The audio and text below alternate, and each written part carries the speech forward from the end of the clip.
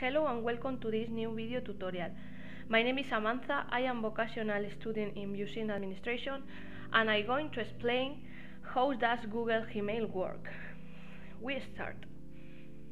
Ahora os enseñaré cómo acceder a la bandeja de entrada y salida de Gmail. En primer lugar lo que tenemos que hacer es entrar al navegador, acceder al navegador y acceder a Gmail. En caso de que no lo tengamos anclado en el, escritorio, vamos a dar clic en el botón Windows y vamos a poner Google Chrome. Vamos a dar Enter y nos aparecerá em, el navegador. En la barra de arriba tenemos que poner gmail.com y vamos a dar al Enter. Una vez hemos entrado a Gmail vamos a tener que poner nuestra cuenta. Introducimos el correo electrónico y vamos a dar al botón siguiente, clic en el botón siguiente. Ahora vamos a introducir nuestra contraseña y iniciaremos sesión. Una vez hemos iniciado sesión tenemos las bandejas de entrada, que son los recibidos, y las bandejas de salida, que son los enviados.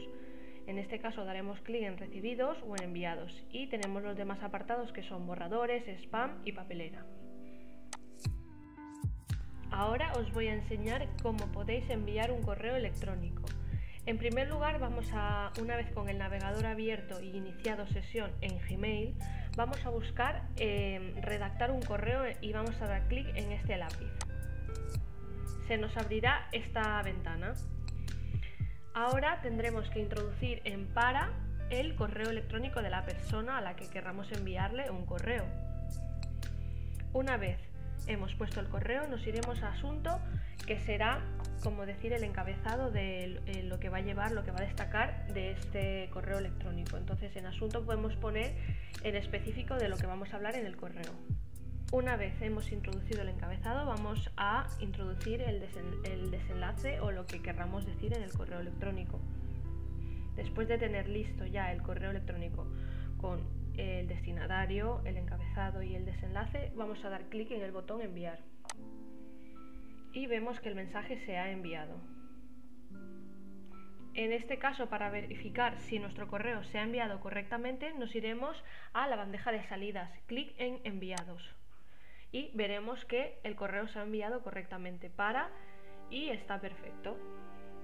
En el paso anterior hemos visto cómo enviar un email. Ahora vamos a adjuntar a un archivo en ese correo electrónico que vayamos a enviar. De acuerdo, volveremos a hacer los mismos pasos que antes, redactar un correo, escribiremos el destinatario, el asunto y el desenlace. Una vez hemos rellenado todos los datos, nos iremos a la parte inferior donde pondrá adjuntar archivos. Vamos a dar clic y se nos abrirá esta ventana que es el buscador para buscar exactamente el archivo que queremos adjuntar.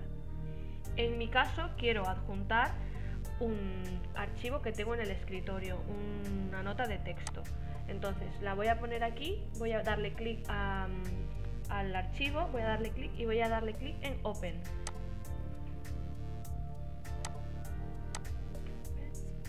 Se nos está subiendo el archivo. Una vez esté listo y ya se haya descargado por completo y se haya subido, vamos a dar clic en enviar. Y el mensaje ha sido enviado correctamente. Igual lo verificamos y vemos que se ha enviado correctamente. Aquí está el, el archivo que nosotros hemos adjuntado en este correo electrónico.